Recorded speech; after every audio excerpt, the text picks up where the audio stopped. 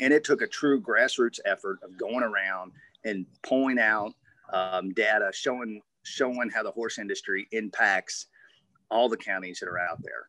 Uh, not not just two or three here in Central Kentucky, but you know we had we had videos, we had testimony from people way out in Western Kentucky that are selling hay and straw into the industry, um, and, we have owners, uh, people who'd invested into the industry but live you know as far west as Paducah and far, far east as Ashland. It covers the entire state.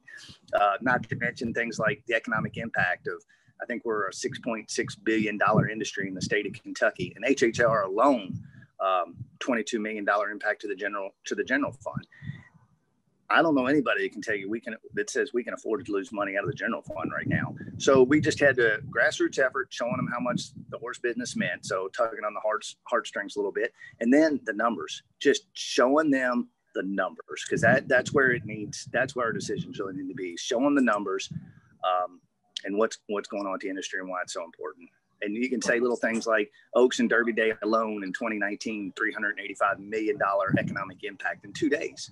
Right, right, of course. What, what other industry? What other industries throwing throwing those kind of numbers around? No, and we're and I mean, we're a premier industry. We got to protect it.